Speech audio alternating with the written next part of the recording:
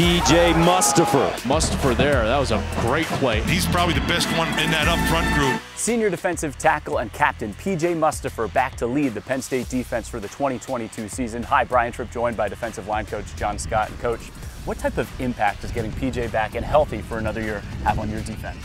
Well, it's tremendous. I mean, you, have been around PJ Mustipher for five minutes. You know that he's serious about football and he has tremendous leadership qualities. Plus, you got a guy that's played a lot of football here at Penn State. He's a guy that people look up to. So having a guy like that back that's played a lot of big moments and made big plays at, at big times in the game is super important. You mentioned his leadership qualities. As he went down with an injury last year, he was still around the team oh, and yeah. so active. What did that tell you about the type of player and teammate that PJ is? Well, it just told you he cares about his teammates, and he's an ultra competitive guy. So even though he wasn't out there with us in pads, he was definitely with us on the sideline, in practice, uh, in the scrimmages, in the meeting room, he was there, and his presence was felt. He was giving advice to the younger guys and the other guys that had played, and he was cheering us on. So we felt that, and we supported that. I think everyone knows he passed his conditioning test already in July. The way he attacked his rehab to be ready for the start of the season, what else does that tell you about PJ? Well, PJ's got a great mindset.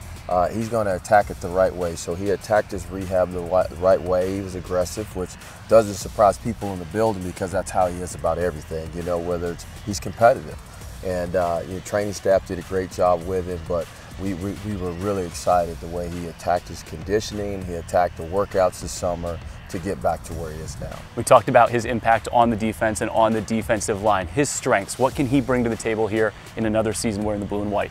Well, you know, number one, uh, he has tremendous experience, and I think he's a tremendous player. You know, PJ is a strong, he's a stout guy. He's hard to move. Uh, PJ understands the game of football. Uh, he's good at picking up uh, little tendencies and things like that. So his, you know, his football awareness is, is, really off the charts, and so that just that not only helps your defensive line, it helps our group because they're learning all those things from him. Whether it's his skill or his leadership, as you talk about learning from PJ, what does he mean for the other guys in your defensive line room? We talk about the you know the core values. He's a great example of that, but he's also a great example of how to be, I say, be a pro. The way he approaches everything, his business in the building, on the field, off the field, it's infectious and it just kind of just trickles down to the rest of the guys. What are you looking forward to most about seeing him back out there on the field at that defensive tackle spot this year? For him and the guys to go back out there and, you know, play to the level of where he was last year.